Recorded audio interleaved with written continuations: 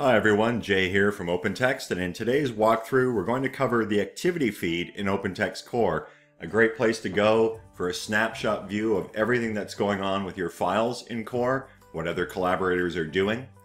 As well, if you're having an issue, for example, maybe you think a file has, is missing or you can't access it anymore, you can go ahead and check the activity feed to see if someone might have moved it or perhaps even deleted it. So let's not waste any more time and get going here.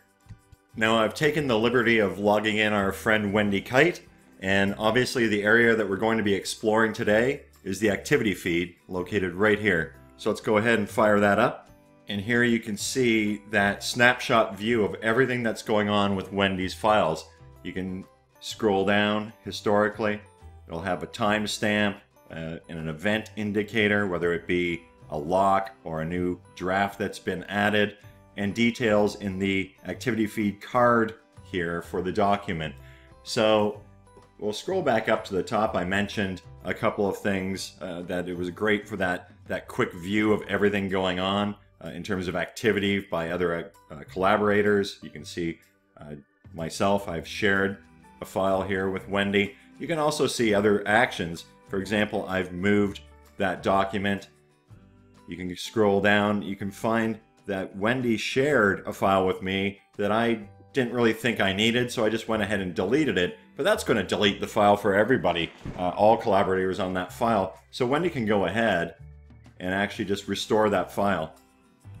You can see here in the activity feed card that Wendy has restored the file successfully.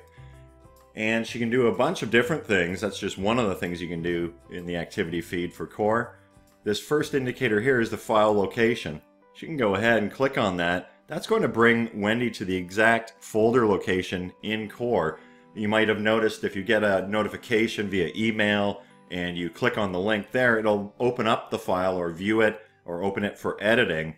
If you want to get the location, just head to the activity feed and hit that little location icon. It'll bring Wendy right to the file uh, folder here. You can see it's in a folder called Client Briefings under the client name Caddy Pet Foods she can then go ahead and do all the other great things in core from there.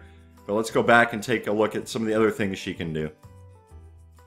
A quick note on that file restoration, uh, undeleting a file. Uh, Wendy could have done that from her trash bin. There's a video on our YouTube channel all about that, so if you want to explore that, go ahead.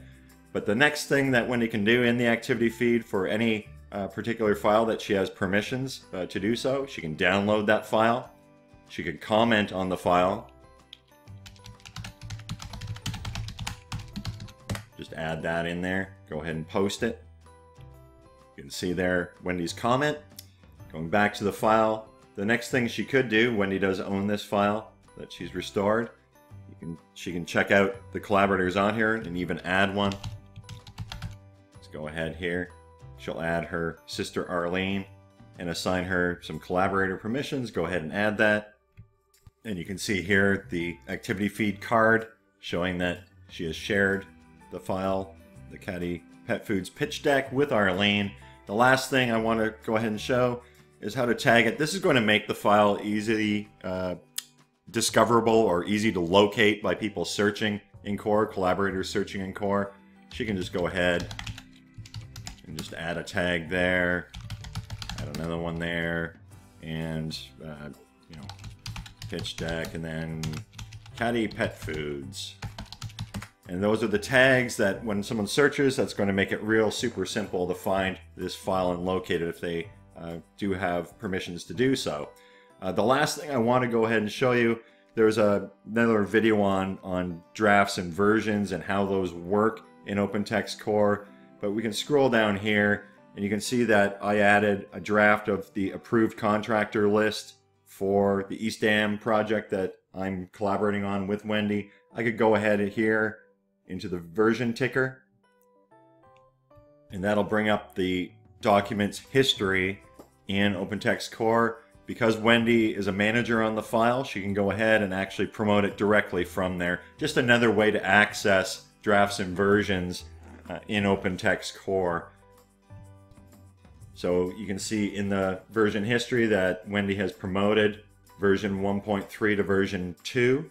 And let's go back and check on that in the activity feed. And there you can see the new version reflected in the activity feed. So again, activity feed, real great way to get a quick snapshot view of all activity from all collaborators, what's going on with your files in OpenText Core, as well as to maybe do some troubleshooting on files that you might have issues accessing. If somebody has moved the file to a different location that has uh, removed permissions for you to view or access that file, or if someone's even deleted the file, you can go ahead and restore it with adequate permissions if you're a manager, for example. So that's about how easy as it gets uh, with OpenText Core.